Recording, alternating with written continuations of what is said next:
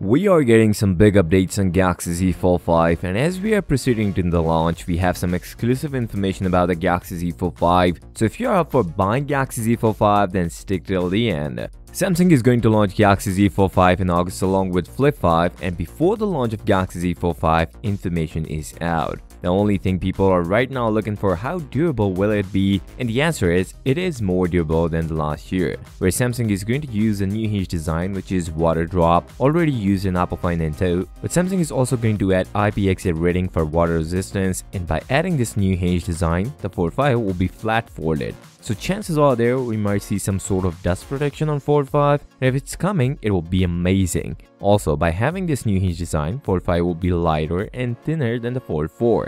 As per prototype of Galaxy Z Fold 5, it will going to come with 254 grams instead of 263 grams on Fold 4. Before moving on, drop a like and subscribe.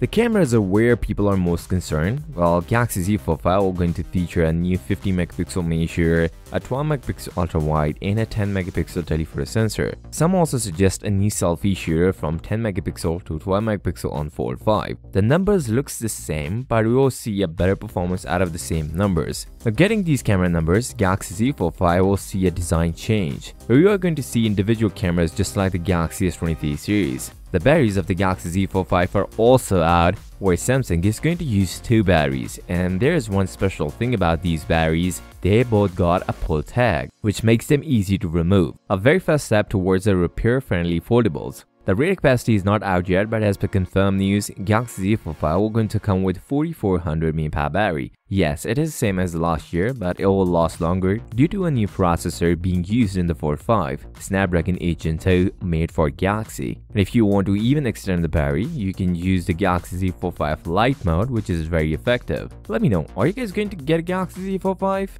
This information is out directly from Samsung servers. Galaxy Z Fold 5 appeared on Samsung servers and now we know what software we are going to get on the Galaxy Z Fold 5. It will be One UI 5.1.1. Galaxy S23 came with a One UI 5.1, but this will be the first big update after the launch of Galaxy S23 Ultra. Other supported Galaxy devices will get this update after the launch of Galaxy Z Fold 5. This new software is based on Android 13 and will bring couple of improvements in stock apps and improvements in flex mode. Are we going to get a built-in S Pen? Sorry sure, but no. Samsung is working on Fold 5 built-in S Pen, but due to space limitation, it's not happening. But interesting news is Samsung is working on built-in S Pen for future foldables. The performance of Galaxy Z Fold 5 is also out where BDS23 Ultra, so if you guys want to check that out, you can watch this video and don't forget to subscribe. I'll see you next time till then, peace out.